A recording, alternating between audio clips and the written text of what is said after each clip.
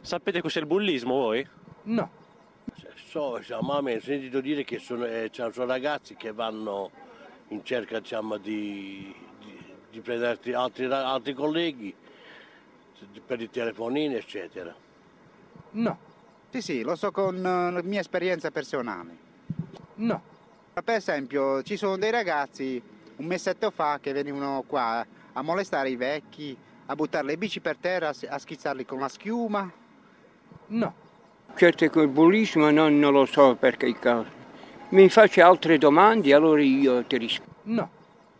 È il frutto della società in questo momento. Cioè, I ragazzi che perdono determinati valori e seguono eh, diciamo, esempi sbagliati a volte della, della, stessa società, quindi la società a volte dà de, degli esempi che non, eh, non sono il massimo e quindi che non sono giusti, sbagliati e che vengono seguiti. No.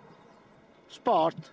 Il bullismo è gente giovani, diciamo così, che vanno sulle moto, motorini che danno fastidio alla cittadinanza.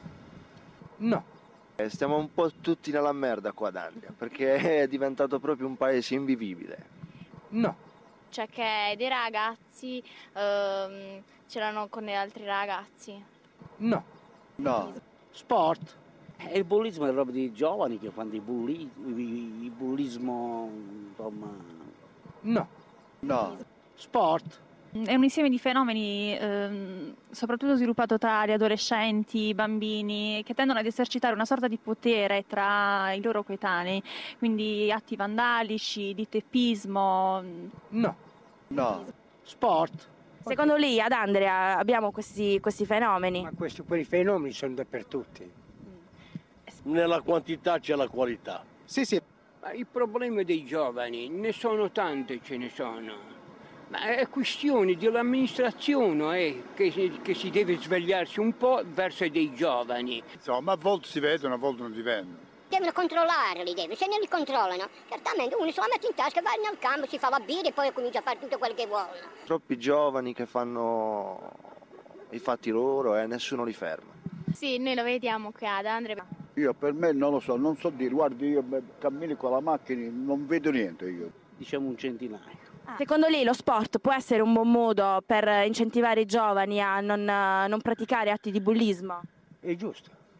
Io sono anch'io sportivo. Sicuramente sì, come tutto, tutto ciò che è aggregazione, la musica, eh, lo sport e tutto ciò che aggrega effettivamente porta, può portare sicuramente a, a staccarsi da, da, mm, dalla prepotenza o da ecco, tut, tutte queste cose qui negative, insomma, dagli atti. Ecco, i valori chiaramente sono fondamentali, se la famiglia dà i valori, ma non basta, perché anche la società deve comunque aiutare. Sì. La migliore ecco, sarebbe quello lo sport per incentivare i ragazzi diciamo, a disastrarsi dall'alcol, ma a fare sport in modo che anche roba di stupefacenti, diciamo, la droga, quella roba lì, di lasciare quel campo lì e prendere il campo dello sport perché è molto utile. Sì, può darsi. Forse sì o forse no, dipende, cioè dai ragazzi. Sì, sì, si può combattere perché lo sport vi porta diciamo, la pace, la sicurezza, l'intelligenza anche.